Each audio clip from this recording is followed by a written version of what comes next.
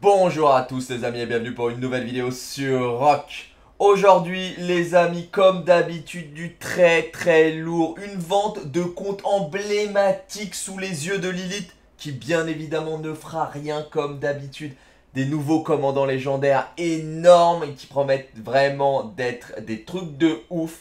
Mais avant cela les amis, comme d'habitude, si ce n'est pas encore fait, bien évidemment je vous invite à vous abonner à la chaîne en cliquant sur la cloche pour être informé de toutes nouvelles vidéos. Et surtout les amis, n'hésitez pas à nous rejoindre sur le Discord de la chaîne, c'est ultra simple. C'est le premier lien en description de toutes les vidéos, vous ne pouvez pas le rater, aucune excuse, il suffit de cliquer dessus pour nous rejoindre et être informé tout l'été de ce qui se passe sur. En parlant d'été, d'ailleurs, petit environnement sonore légèrement différent d'habitude. Car comme certains d'entre vous le savent, comme tous ceux qui sont sur le Discord le savent, je suis en vacances sur mon lieu de vacances. Donc un petit peu plus d'écho, un petit son un petit peu moins bien. J'en suis désolé les amis. Pendant 15 jours, ça sera plus ou moins comme ça. Alors les amis, je vous le disais, hein, on a vraiment une chose étonnante, une vente de compte faite de manière très libre, très publique, annoncée partout. Et Lilith est détente hein, et ne fera rien. Tout simplement pourquoi? Car il s'agit de l'un des plus gros joueurs, le plus gros fighter en score de rock. Regardez déjà ce qui est annoncé. On le voit, ce message est annoncé sur le Discord du 556, si je dis pas de bêtises. Hein. Enfin, je dis peut-être une bêtise, c'est peut-être pas le Discord du 556. Mais on le voit, c'est annoncé. C'est euh, une information sûre, hein, comme vous, vous, allez le voir dans les screens suivants. Notre ami Goodfather a quitté le jeu, a arrêté. C'est annoncé par NKD. Le grand guerrier, le plus grand du jeu actuellement, Goodfather, a tristement quitter le jeu. Quand on parlait du 556, on parlait bien évidemment de Goodfather, une vraie légende du jeu qui laisse un, euh, ils disent number one en KP, numéro 1 en kill points, ce que je vous disais, et le plus grand T5 killer du jeu actuellement, encore une fois, hein, puisque le compte est vendu, on ne sait pas ce qu'il va, ce va devenir. Le 556 le remercie hein, et euh, rend hommage à sa mémoire. Ils vont quand même continuer hein, de monter, etc. etc. Goodfather nous a laissé, nous laisse un, grand trou dans notre cœur. En tout cas, un vibrant hommage hein, laissé à Goodfather qui donc arrête officiellement le jeu sur cette dernière, ce dernier game, hein, cette dernière partie qu'il a perdu, si je dis pas de bêtises. Et certains y voient déjà la malédiction Baba. Je vous le rappelle, tous les royaumes où Baba est passé, ou presque tous. Hein.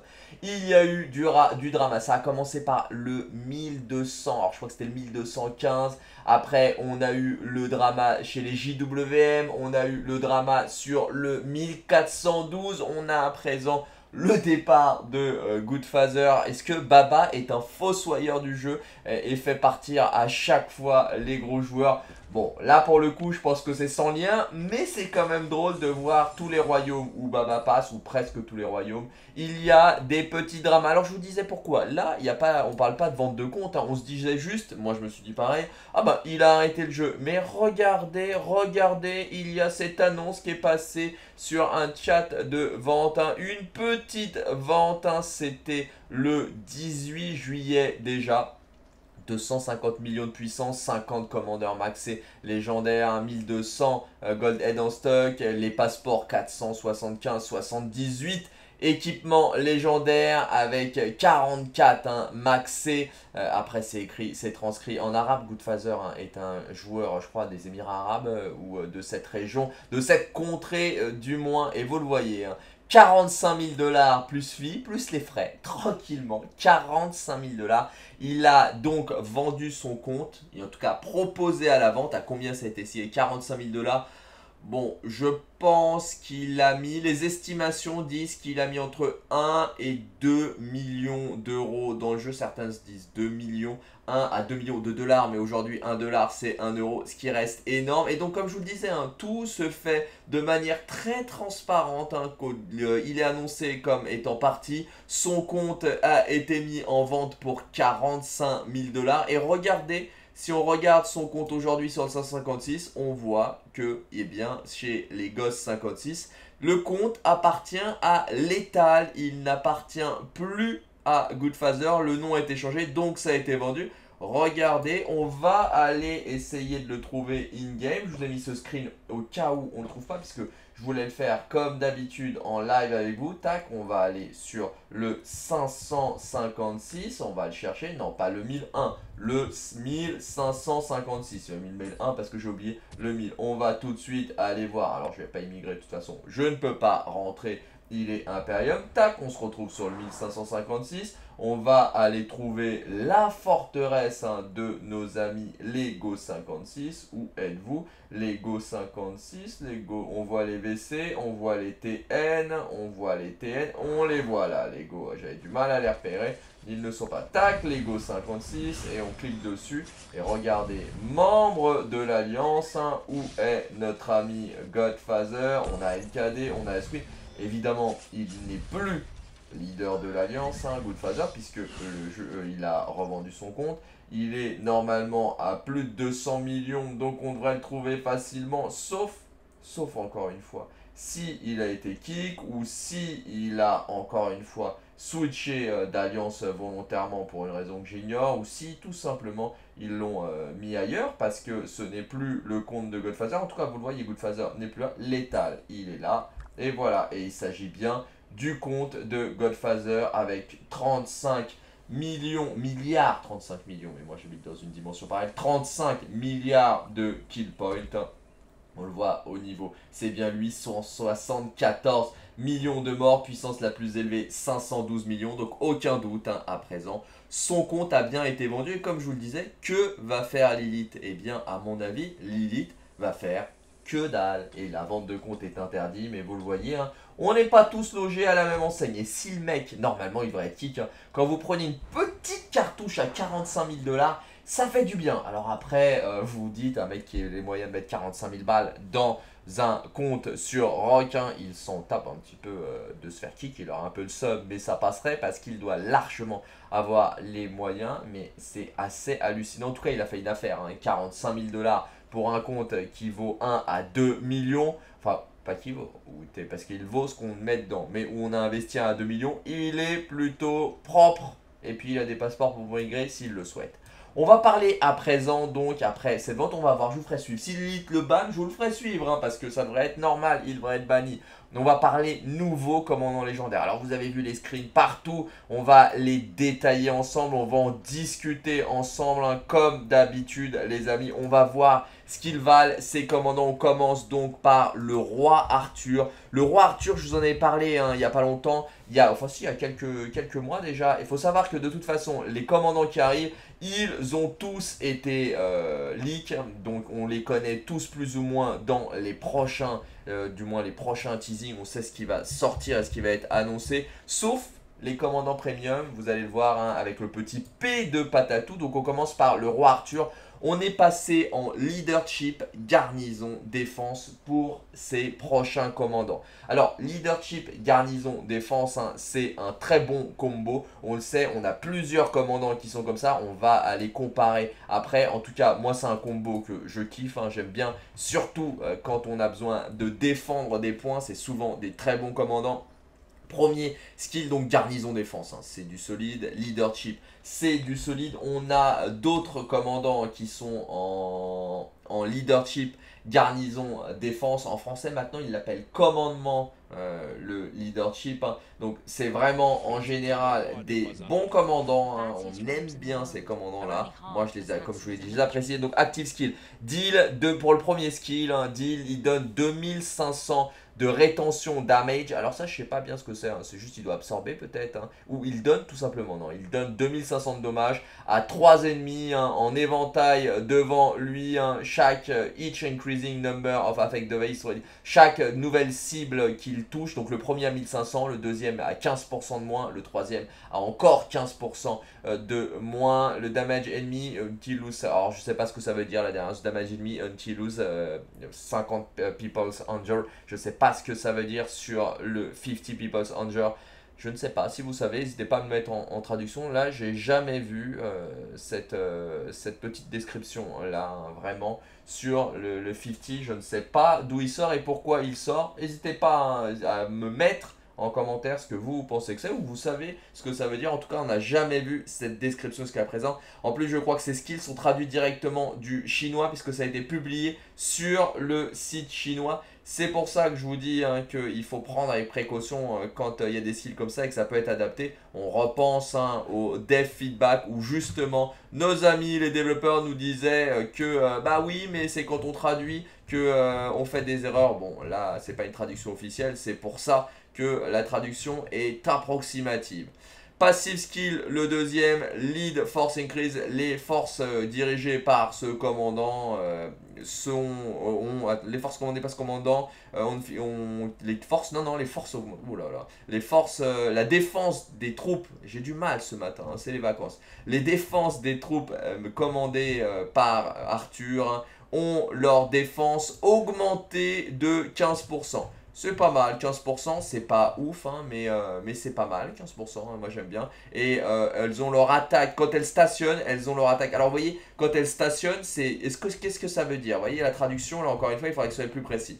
Quand elles stationnent, est-ce que ça veut dire quand elles sont en défense de garnison ou euh, d'un que ce soit ville ou un, un bâtiment, solution 1, ou est-ce que ça veut dire que c'est lorsqu'elles sont aussi qu'elles bloquent, qu'elles arrêtent, qu'elles ne bougent plus et qu'elles sont en mode blocage et qu'elles ne laissent rien passer. Parce que vous savez, dans le nouveau KVK Heroic Anthem, il y a euh, Power Sup, il y a ce mode bloqué et ça bloque toutes les troupes. Donc est-ce que c'est les deux modes? Donc quand c'est dans ce cas-là, enfin quand elles sont en stationnement, elles ont 20% d'augmentation en plus et la vitalité qui est augmentée de 20% également. C'est pour ça, hein. là on peut se poser la question sur la traduction exacte de ce que ça peut, dire. Euh, pour le petit euh, dommage unity lose, lose ouh là là, 50 people injured, hein, euh, ça voudrait dire, parce que je, regardais en même temps, hein, les unités ennemies touchées perdent également 50 de rage. Donc voilà, c'est bon, on a la traduction. Ça veut dire que chaque fois qu'elles sont touchées, elles perdent 50 de rage. C'est pas mal du tout. Donc c'est deux premiers skills. On passe à présent au troisième skill, augmente les dégâts de troupes de 10% quand le commandant est en garnison. Pas mal. Quand il est attaqué, réduit les dégâts subis de 5%, cumulable jusqu'à 5 fois. Un bon, euh, un bon troisième skill, hein. il est sympa. Quatrième skill, passive également, augmente les dégâts de contre-attaque de 20%. Si le commandant subit des dégâts de compétence, il a 10% de chance d'infliger des dégâts directs, multiplicateur de dégâts de 500 pendant 4 secondes. Cet effet ne peut se déclencher qu'une fois toutes les X 8 secondes. Voilà, je vais dire les X, les 8 secondes. Je pensais que c'était pas annoncé. Euh, ce qui est intéressant dans ce skill, ça veut dire que si on essaye de le swarmer avec les dégâts de contre-attaque, ça pourrait faire très très mal. Donc un très bon skill. Peut-être ça sera une petite arme anti-swarm. Pas mal du tout. Anti-swarm, que ce soit sur le rallye, en commandant secondaire par exemple, hein, ou en défense de bâtiment. parce que rappelez-vous, hein, il y a un nouveau skill hein, pour euh, swarm de ouf sur, euh, sur les, les technologies cristal. Donc ça peut être pour contrer euh, ce skill aussi que ça a été ajouté. Pour finir, L'expertise, les dégâts de compétences hein, augmentent de 10% hein, si le nombre de troupes euh, possédées, donc dirigées par Arthur, est inférieur à 70%, augmente les dégâts une nouvelle fois de 30%. C'est énorme, c'est très très propre ce premier commandant. Moi, je le trouve pas mal du tout. Est-ce qu'il va tout arracher? C'est ce qu'on va essayer de voir. Hein. Mais en tout cas, l'annonce sur le papier, il est très très propre ce commandant. En défense, il va faire très mal. Le deuxième commandant que nous avons, c'est bien évidemment Jeanne d'Arc Patatou. Merci Kevin, une nouvelle fois, le petit P Premium. Elle va être très bien, j'espère que le skin sera vraiment classe parce que c'est vraiment un bon commandant, hein. un commandant épique très solide. Donc là, pour le moment, sur le papier, Arthur est vu comme un bon commandant. Jeanne est vu comme énormissime. On va voir les skills ensemble. Leadership, Versatility, Support. Donc c'est des skins, euh, maintien de la paix, pardon, pour le Versatility. Euh, support, c'est des skins qu'on a l'habitude de voir. Moi, je les trouve très très sympas comme, euh, comme skill. Donc on va voir ce que ça vaut au niveau de l'expertise. Est-ce que c'est énorme? Est-ce que c'est tout naze Eh bien, regardons ensemble ces petits skills. Le premier augmente dans une zone circulaire la santé de 5 alliés. Donc là, on est directement dans un commandant de support qui à mon avis va faire très mal. Et si vous regardez toutes les vidéos sur les KVK que je vous montre, on le voit avec Trajan notamment, le support c'est la base du succès. Augmente dans une, dans une zone circulaire la santé de 5 alliés de 30%. De plus, augmente tous les dégâts du commandant de 25% max. Euh, pendant une durée pardon, max de 3 secondes. C'est énormissime déjà ce premier skill parce que vous le savez, la santé supérieure à la défense, la défense supérieure à l'attaque. Donc là, franchement, c'est un truc de ouf. Vous vous rendez compte, 5 hein. alliés de 30 secondes, vous en avez 2 ou 3, vous allez avoir des... C'est ce que les buffs vont se cumuler, je ne sais pas, mais ça promet du très lourd. Deuxième skill, augmente la défense de 30%. Premier, la santé. Deuxième, la défense. Quand le commandant n'est pas sur le territoire de l'Alliance, augmente la santé de 20% encore en plus. Mais laissez tomber quoi. Ce skill-là, mais moi, Jeanne d'Arc, je vais la monter. Elle brûle la tête, hein. franchement, que ce soit en open field. Là, ça annonce du très lourd. En défense euh, de bâtiment, en garnison, ça annonce du très lourd. En euh, canyon, ça annonce du très lourd. Là, on a l'air d'avoir un commandant au max. Franchement, c'est l'un des meilleurs que j'ai vu depuis un an ou deux ans. Troisième skill, réduit les dégâts de compétences subis de 30%. énorme. Quand ce commandant est attaqué, il a 10% de chance d'infliger des dégâts directs. Multiplicateur de 1500 à la cible. Ne peut se déclencher qu'une fois toutes les 5 secondes. Là, ça commence à être abusé. Quatrième et dernier skill avant l'expertise, augmente le nombre d'unités max de 15% si le commandant contient deux types de troupes ou plus la vitesse de marche augmente de 15%. Si 3 troupes ou plus, la vitesse de marche augmente de 25%. Franchement, euh, c'est n'importe quoi. à mon avis, elle va être nerfée, c'est pas possible. Hein. Et l'expertise, hein, ça augmente, ça change le premier skill. Et ça augmente la santé de 40%, non plus de 30%. Et les dégâts euh, de 30% sur une durée max, non plus de 3 secondes mais de 4 secondes. Franchement, ça a l'air d'être un commandant oufissime. Quand je la vois, j'ai envie de la monter direct. Sérieusement, là, sur les euh, commandants premium, j'ai l'impression que Lilith s'est lâché, mais vraiment de ouf. Je sais pas pourquoi ils, euh, ont fait ça, mais euh, c'est assez impressionnant de voir ça. Alors, si on doit faire un petit comparatif hein, avec un commandant qu'on a déjà en leadership, versatility et en soutien. On peut sélectionner maintenant, grâce à Lilith et le nouveau système qu'ils ont mis en place de filtre, hein, vous le voyez, je mets leadership, donc euh, commandement. Je mets, ah non, c'est euh, polyvalence, versatility, c'est polyvalence, c'est pas euh, maintien de la paix. C'est polyvalence et le dernier, c'est le dernier, on peut pas le sélectionner, hein, on va le laisser en polyvalence, soutien, vous voyez, je peux pas le mettre, je peux pas slide la fenêtre, donc il est nulle part. Et vous le voyez, c'est comme Trajan, ou c'est comme euh, Honda. Alors oui, je le redis, hein, versatility, c'est polyvalence. Je le redis parce que je sais que certains vont me dire oui, euh, tu as dit que c'était maintien de la paix. Certains qui n'auront pas regardé la vidéo jusqu'au bout comme d'habitude et vont me dire ça en commentaire. Oui, je me suis trompé, mais j'ai corrigé versatility. C'est pas maintien de la paix, c'est polyvalence. Donc voilà, on a deux commandants de ce niveau-là. Hein. On a Honda d'un côté, qui est pas terrible, moi je trouve un peu éclaté, et Trajan, que je citais, qui est énormissime. Vraiment, franchement, Là, Jeanne, je peux que vous conseiller à la lecture des skills de les monter. Je vous montrerai les rapports. À mon avis, dès qu'elle va être là, tout le monde va voir la monter. Je pense qu'on va se retrouver avec Arthur en MGE et notre ami Jeanne parce que les commandants premium sont, ont été pour le moment, hein, que ce soit Boadicée euh, ou euh, notre ami Scipion, les deux ont été pour le moment mis en roue de la chance. Donc je pense, c'est pour ça d'ailleurs que j'ai les deux, je pense très clairement que les deux seront une nouvelle fois, enfin les deux, non, que le, le nouveau commandant premium, Jeanne, sera aussi en roue de la chance, c'est ce qui sera logique. Et c'est tant mieux parce que tout le monde pourra la voir. Voilà, écoutez les amis, c'est tout pour cette vidéo. J'espère qu'elle vous aura plu. Si c'est le cas, les amis, comme d'habitude, n'hésitez pas à lâcher un colossal pouce bleu. Vous le savez les amis, ça aide énormément le développement de la chaîne et surtout ça me fait vraiment très plaisir. Si ce n'est pas encore fait, qu'attendez-vous Qu'attendez-vous pour vous abonner à la chaîne en cliquant sur la cloche pour être informé de toutes nouvelles vidéos je vous souhaite un bon jeu à tous, prenez soin de vous, faites bien attention à vous les amis, et je vous dis à plus sur Rock.